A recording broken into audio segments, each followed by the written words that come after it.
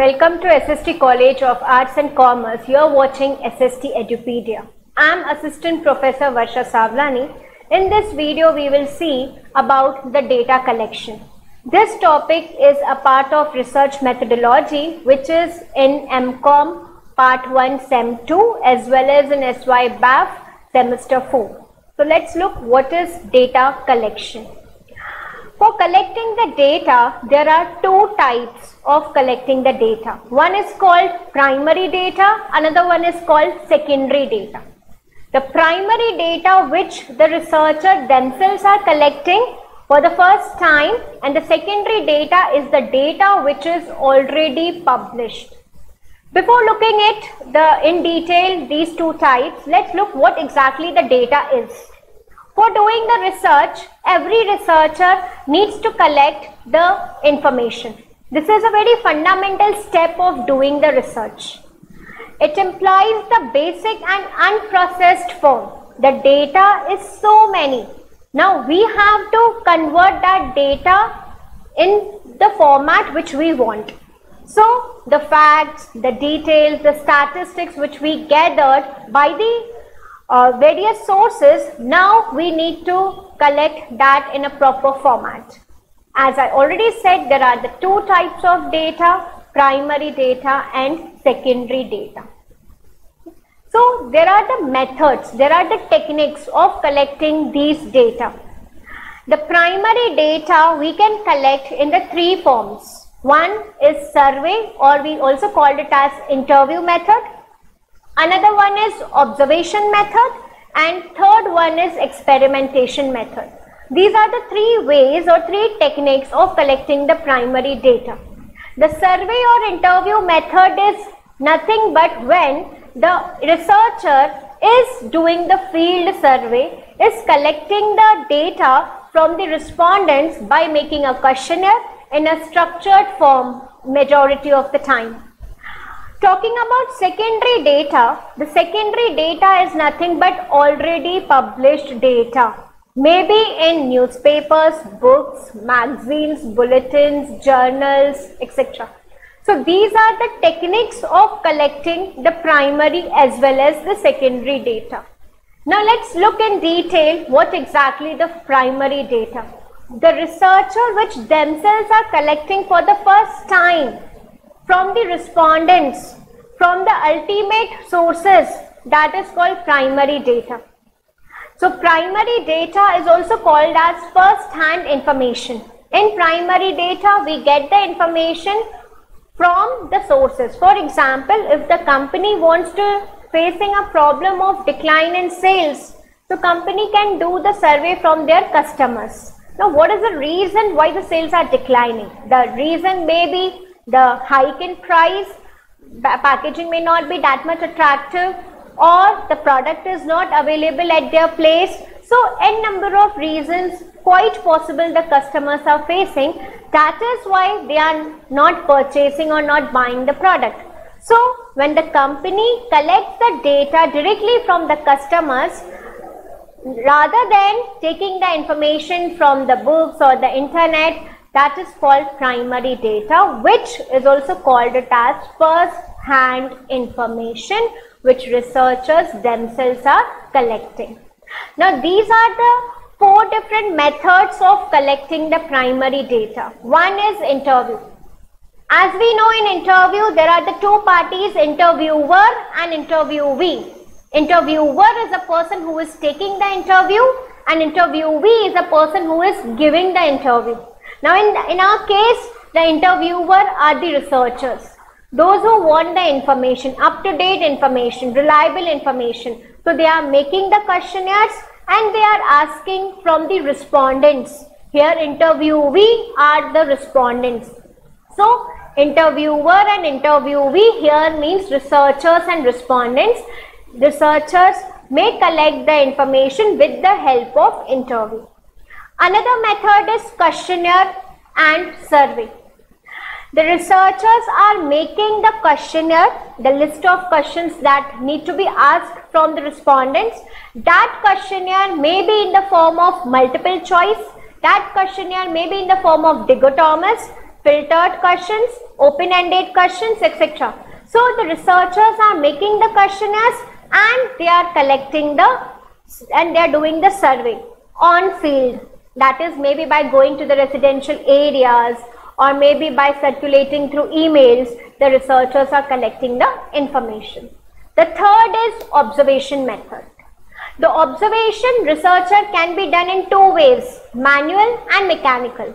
Manual that is, say for example, if researcher as an observer, he or she went to the mall and observe the things what customers are buying, how they are doing the payment.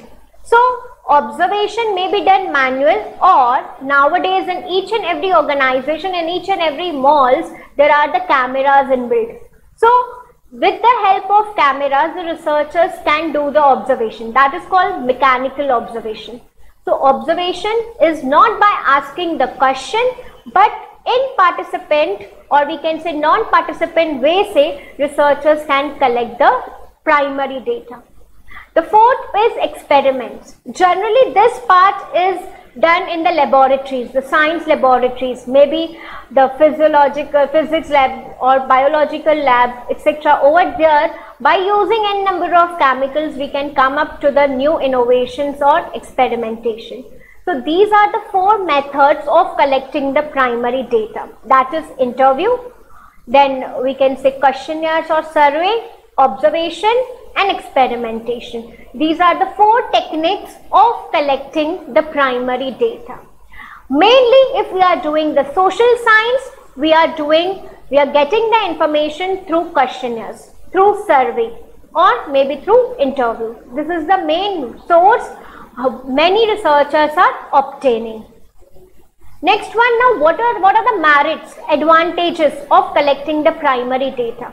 As the researchers themselves are collecting the primary data from the respondents, so it gives the first-hand information. So primary data provides the first-hand information to the researcher in-depth information. Whatever the researchers are facing the problem related to that they have made the questionnaire and they are collecting the data. So to the point in-depth information we can collect through primary data.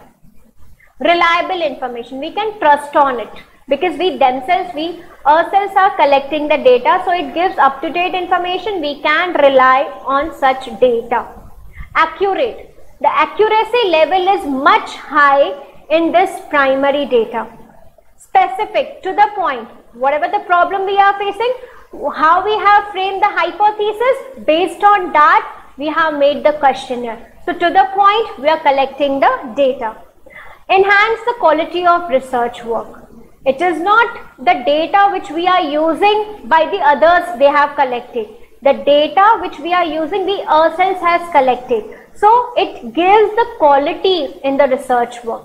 So many a times in academic research also nowadays, the students, those who are doing PG, post-graduation and the research scholars, those who are doing PhD, they themselves make the questionnaire and collect the data which enhances the quality of their research work. Helps in formulation of hypothesis. Even while making the questionnaire we can come across to formulate the hypothesis in our research work which helps to accept the hypothesis at last when we are doing the testing of hypothesis. So these are the merits of collecting the primary data or we can say advantages. Now everything has two sides so they have the disadvantages also. So disadvantages of primary data are nothing but it it requires a lots of paperwork because for collecting the primary data many a times the researchers are using the method called questionnaire. So the researcher needs to make the questionnaire get it finalized from their respective guides and do the final drafting. Before that do the pilot study then collect the data from the samples. So it requires a lot of paperwork. It is expensive. At the same time the researcher needs to have a lot of economical things they need to expend because by collecting the primary data to travel towards the respondents to get it finalized from the expertise so it requires a lot of budget also as compared to secondary data. Third one is time consuming. It is a time consuming process because first we need to identify the problem, then we need to make the objectives, hypothesis, then select the sample, make the questionnaire, get it finalized, do the pilot study, then collect the data from the respondents. Not over there the work is not end, then we have to process the data. So it's a lot of time consuming. Then respondent bias. The respondents may be in a hurry for example and they are not reading the questionnaire, they are just ticking the responses. They may do the biasness or either the way the other case may be the respondents may not able to say the wrong to the thing. So they are taking all the positive answers irrespective they feel so the product is not for example that much qualitative. So respondents may not give the genuine answers while doing the survey then interviewer biases. Interviewer are nothing but researcher. Researchers may do biasness many a times. Say for example, the researchers koi unka say for example the friend is there so they are asking less number of questions. The another unknown person is there they are asking the more number of questions. So at times the interviewer may also do the biasness. Ultimately he or she is a human being. Next sampling error while collecting the primary data we need to decide the sample from how many respondents we have to collect. And what kind of respondents? What kind of means? It includes the all demographic factors educational qualification age gender marital status income group etc so while deciding the sample we need to consider all these factors also. Next processing of data once we collect the primary data we are not shifting directly to the data analysis. Before that, we have to do the processing of data. The processing of data includes five steps, editing, coding, classification, tabulation and graphical presentation. So, after collecting the data, the next step starts processing of data. Again, it's a time consuming. So, all these are the disadvantages of primary data. So, this is the first part, primary data. The second is secondary data. The data which is readily available, the data which is already published or printed in some or the other sources. If that data we are using, that is called secondary data. So secondary data is also called it as already published data. The data which is already published in print form or in electronic form. If we are using that data is called secondary data. So secondary data, maybe we can use the public libraries, maybe we can uh, take into consideration the newspaper articles, journals, research papers, websites, etc. for our research work that is the secondary data or even many a times on the ongoing basis the government and the non-government organization does research. So if we are using their reports that is also considered as a secondary data. So the data which is already published in print form or in electronic form if we are using that data into our research work that is called secondary data. Now let's look methods which are the techniques of collecting the secondary data. Broadly, there are the two sources or two techniques, internal sources and external sources. Internal sources, here we are talking about in consideration of the company. Within the organization, the researcher may collect the information from the internal sources that is product analysis the companies are doing, sales analysis, customer analysis, analysis of the sales territories, sales frequency, financial analysis. You might be knowing each and every company, those who are listed, they have to make the annual reports. So in annual reports, they need to publish the financial statements, which includes Uh, uh, we can say trading account, profit and loss account, balance sheet, changes in working capital, cash flow statement, fund flow statement, ratio analysis. We can use that data into our research and even the each and every department works in the softwares like MIS software, marketing information system in that we are having the sales record according to the number of quantity cell, according to the area wise, according to the frequency wise, etc. So that information if we are using from the internal reports of the organizations by various departments, that's called internal sources. Next is external sources outside the organization. The other publications, if we are using that information, for example, government publications, the government does census reports they make after every decade once in a decade the government analyze the population count then price statistic yani wholesale price index WIP so the government is calculating wholesale price index also. And number of industrial statistics. How many number of industries small scale industries are there in respective states respective districts etc so if we are using the governmental reports, that is also a part of secondary data. Syndicate sources. Syndicate sources, yani there are the private companies, those who are doing the research on an ongoing basis. The company which is well known in India called Nielsen. Many company does outsources by collecting the or by doing the research. And last we have written journal publications like newspapers, magazines, bulletins, journals, brochures, etc. If you are using information from these sources are called journal publications. So these are the ways we can collect the external secondary data which is not in our organization but outside the organization and number of reports are there. From those reports we are collecting the data. So external sources includes governmental publications, syndicate sources or journal publications.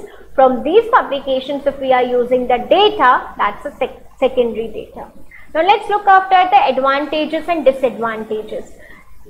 Merits of secondary data is opposite the disadvantages of primary data. Okay, so secondary data, less paperwork, less expensive, less time consuming, supplements to the primary data, large volume of data is available to us. We can make the quick decision because the data is already available. Automatically we does the analysis of the data. It requires less processing of data. Already the data might be edited. Now we just need to convert into a graphs for example. So these are the merits because secondary data is the data which is already published. It's already with us now, nowadays everywhere there is a Wi-Fi facility. So no need of even internet pack. So we can use the Wi-Fi and collect the secondary data.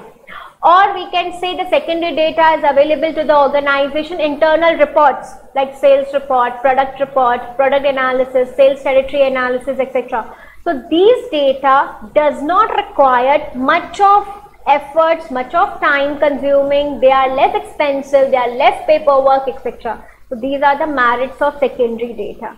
Let's look the disadvantages of secondary data. The secondary data may not accurate, may not give the to the point results. The statistic, the numbers may not be up to date. The, there is problem of reliability. We can't completely 100% rely that date, that data is right, completely right. So problem of reliability, problem of specific data, that there may be the biasness of the information, there may be the lack of in-depth information available to the sources or unsuitability, quite possible the data may not be suitable directly to our research work. So that may be the problems. Okay. So here in this video we have understood the two types of data collection, primary and secondary. Thank you for watching.